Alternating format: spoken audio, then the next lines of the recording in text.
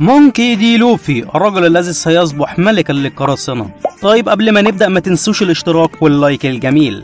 بما إن حاليا قتال لوفي ولو وكابتن كيد بيحاربوا اتنين من اليونكو اللي هو اليونكو كايدو واليونكو البيغمام فقررنا إننا نلخص كل أحداث ال arc من البداية عشان اللي بيشاهد القتال يبقى فاهم هم وصلوا إزاي لبلد وانو وإزاي اتجمعوا كل التحالفات مع بعض. ما تنسوش قبل ما نبدأ إنكم تصلوا على الحبيب المصطفى صلى الله عليه وسلم.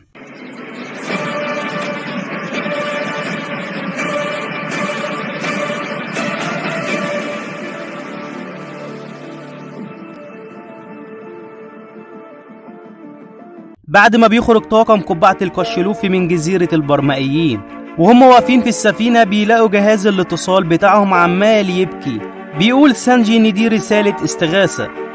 بيرد لوفي عليه بيلاقي شخص عمال يبكي وبيطلب النجدة بيقول إن الساموراي عمال يقطع فيهم. لوفي بيسأله أنت فين؟ بيقول له أنا في جزيرة البنكهازر بيروح لوفي وزورو وأوسب وروبين لجزيرة البنكهازر بيلاقوها متدمرة والنار مش سايبة حتة سليمة.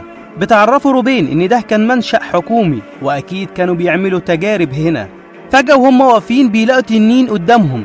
بيهاجم لوفي على التنين والتنين كمان بيهاجم عليهم. لكن وهم في وسط القتال بيسمعوا صوت شخص بيتكلم بس مش عارفين الصوت ده جاي منين. في الوقت ده ناس مقنعة بينشروا غاز منوم في السفينة وبينيموا الطاقم كله. بيقول واحد منهم إننا لازم نوديهم للقائد وهو هيتصرف معاهم. التنين بيهاجم عليهم لكن زورو بمساعدة أوسب بيقدر إنه يقطع راسه. بعد ما بيقع التنين كجثة هامدة بيلاقي لوفي إن في نص إنسان من رجليه لازق على ظهر التنين بيتفاجئ طاقم من اللي هم شايفينه لكن لوفي ما بياكلش معاه الكلام ده. وبياخده يلزقه في ظهره وبيفضل يلعب بيه. وهم واقفين بيشوف إن الجزيرة دي مقسومة لنصين نص من الجليد ونص نار وبراكين. بنعرف إن دي الجزيرة اللي اتحاربوا عليها الأدميرال اوكاجي والأدميرال أكاينو بعد حرب المارفودو. بنشوف الناس المقنعة وهم واخدين باقي الطاقم للقائد بتاعهم والقائد بتاعهم اسمه سيزر. أحب أفكركم إني هتكلم بس عن arc وانو عشان arc سيزر ده arc لوحده. لكن اضطريت أجيبه عشان أعرفكم إزاي قابلوا الساموراي طاقم قبعة القش. نرجع تاني لباقي الطاقم وهم في غرفة شبه الحجز كده. بيلاقوا راس مقطوعة بس بتكون حية وبتقدر تتكلم ومتقطعة لكذا جزء. بيطلب منهم إنهم يجمعوه تاني وفعلا الطاقم بيجمعوه بس بعد ما بيتنمروا عليه شوية. بيعرفهم بنفسه وان اسمه كيمون وهو ساموراي من بلد نوا. وبيعرفهم إن ابنه اتخطف في سفينة ناس لابسين أقنعة وهو عرف مكانهم وجه وراهم عشان ينقذ ابنه. بس في شخص بيمتلك قدرة غريبة وهو اللي قطعه كده. بنعرف بعد كام حلقة إن ده بيكون لو. بعدها بنشوف لوفي وبعضا من الطاقم. بيقابلوا لو وهنا لو بيعرض على لوفي إنهم يتحالفوا مع بعض عشان يهزموا واحد من اليونكو وهو اليونكو كايدو. بيقبل لوفي بدون حتى ما يفكر. بيعرفوا واحد من الطاقم إن دايما تحالف القراصنة بتنتهي بالخيانة. لكن بيقول لوفي إن عارفه من أيام حرب المرفودو وإنه هو اللي أنقذه وعالجه كمان عشان كده هو بيثق فيه. لوفي بيسأل لو أنت هنا بتعمل إيه؟ بيعرفوا إن هو جاي عشان يدمر المكان ده. لأن جزيرة بانك هازارد بتنتج فواكه الشيطان اسمها سمايل وده من فعل العالم المجنون سيزر وان هو عنده ضغينة اتجاه شيتشيبوكاي من البحرية اسمه دوفرامينجو وسيزر شغال تحت قيادة دوفرامينجو وفعلا بيدمروا المكان وبيمشوا. وهم ماشيين بنشوف الساموراي كيمون وابنه الصغير مومونوسكي. بيقول كيمون إنهم كانوا معاهم شخص تالت لكن اتخطف من شخص اسمه دوفرامينجو وبيترجى لوفي إنهم يوصلوه لهناك. بيعرفوا لوفي ان هو كده كده رايح لهناك. بنعرف في الوقت ده إن ابن مومونوسكي أكل فاكهة سمايل واللي هي فاكهة شيطان وبيقدر يتحول لتنين صغير. بيروح عند دوفرامينجو وبينقذوا الساموراي اللي اسمه كانجوري بيدور قتال بين لوفي وشيتشيبوكاي دوفرامينجو والطاقم بتاعه لكن لوفي بيقدر يهزمه. في أثناء الوقت ده بتهاجم سفينة تبع اليونكو البيغمام على سفينة قبعة القش ومعاهم شخص من الجيل الأسوأ كابون بيج بيضطروا إنهم يهربوا ويروحوا للجزيرة اللي بعدها بدل ما يتدمروا واللي هي بتكون جزيرة زو. بيهزم لوفي دوفرامينجو والطاقم بتاعه ولكن لازم نفهم ليه لوفي هزم دوفرامينجو وإيه علاقته بكايدو.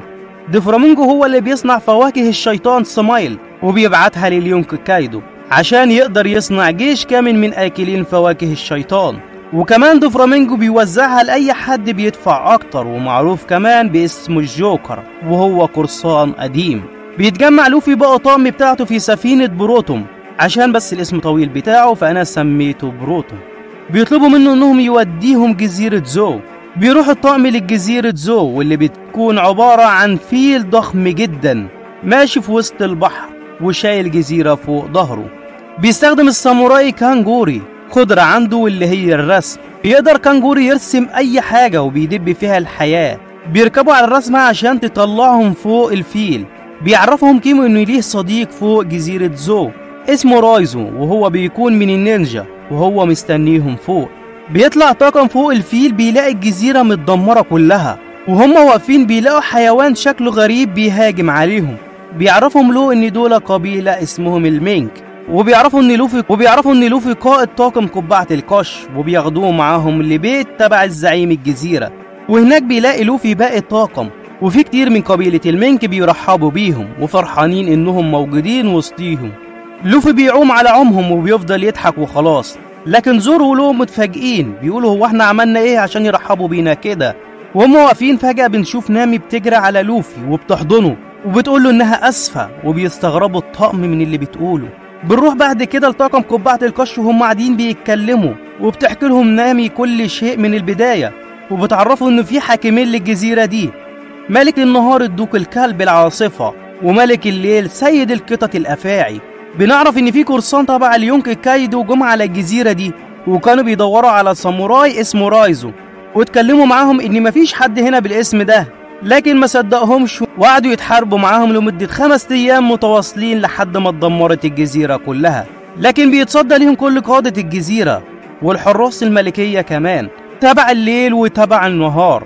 واللي بيتحارب معاهم هو الدراع اليمين لليونك كايدو الكارثة جاك. جاك شاف إن مفيش أمل في هزيمة حد منهم بالشكل كده لحد ما جاب غاز يشل حركة كل اللي في الجزيرة كلهم وهزم الملكين وقطع بعضا من أطرافهم.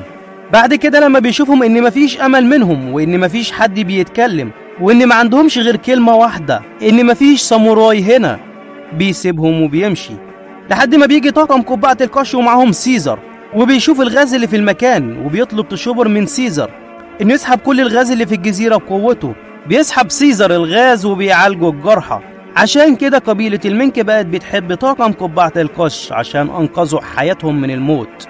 بعدها بيومين بيجي أتباع البيغمام لجزيرة زو. كانت مهمتهم إنهم ياخدوا سيزر من طاقم قبعة القش ويدمروهم. لكن شخص اسمه بيكومس ده بيكون واحد من المنك لما بيشوف جزيرته متدمرة بيغضب جامد وبيعرف إن طاقم قبعة القش هم اللي أنقذوا قبيلة المنك بيقرر إنه ياخد سيزر فقط لكن صديقه ما بيعجبوش الكلام وبيضربه بالرصاص. بيحاصر سانجي قابل أكل فاكهة شيطان اسمها القلعة. مما بتديله القدرة إنه يقدر يدخل ناس جوه جسمه أو يخرجهم أو يضرب بالمدافع. بيقدر إنه ياخد سانجي جوه جسمه وبنعرف إن في مهمة محددة جايين علشانها. وهم إنهم ياخدوه عند البيغمام لأن سانجي الابن الثالث من عائلة الفينسموك. وعائلة الفينسموك دي معروفة بالإختراعات الكبيرة.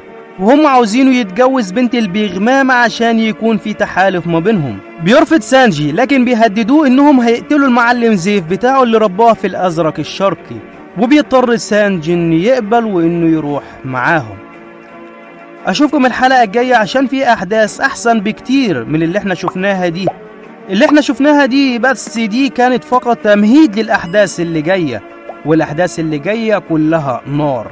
كان معكم أحمد من قناة أفلام سي دي وان بيس. ما تنسوش الاشتراك. تمام؟ وسلام.